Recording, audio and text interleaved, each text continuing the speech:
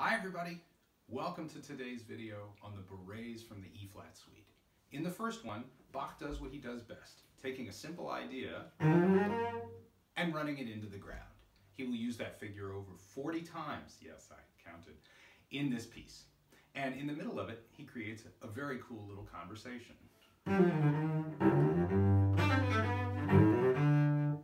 Anything you can think of to do with the scale, Bach figures it out in this movement.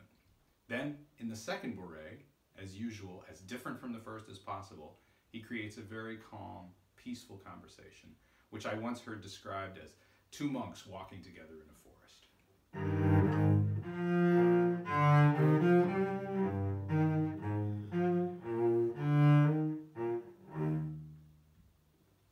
Wonderful piece. We're almost done with the E-flat suite, and I will see you next time for the final movement, the jig. Thank